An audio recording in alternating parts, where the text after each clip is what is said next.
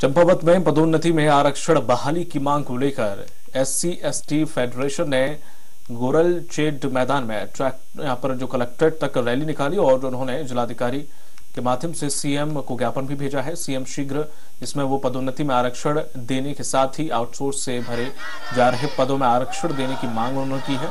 साथ ही छात्रवृत्ति घोटाले के कारण जिन एस सी वर्ग के छात्र छात्रों को जो छात्रवृत्ति है वो नहीं मिल पाई है, उन्हें भी शीघ्र छात्रवृत्ति प्रदान करने की मांग की।